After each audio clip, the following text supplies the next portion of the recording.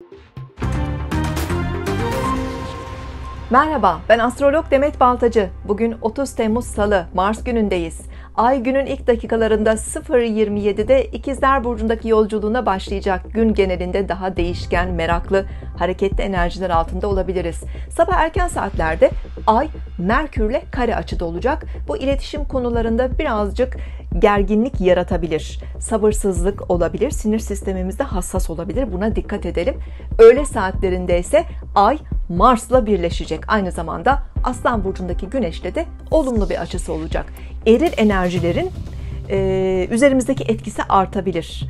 Özellikle otorite figürlerinden destekler görebiliriz. Ancak ruhsal olarak biraz sabırsız olmamız, dürtüsel olmamız mümkün. Fiziksel enerjimiz artabilir. Çok girişken, cesur tavırlarımız olabilir. Ancak sabırsız eylemler, dürtüsel tavırlar kaza ve sakarlıklara yol açabilir. Konuşmalarımıza dikkat edelim. Düşünmeden konuşmayalım. Hareketlerimize dikkat edelim. Özellikle değişken burçlar, ikizler, başak, yay ve balıklar bu etkiyi daha güçlü hissedebilir. Gece saatlerine geldiğimizde Ay Jüpiter'le birleşecek. Gece saatlerinde daha iyimser, keyifli, huzurlu enerjiler altında olabiliriz.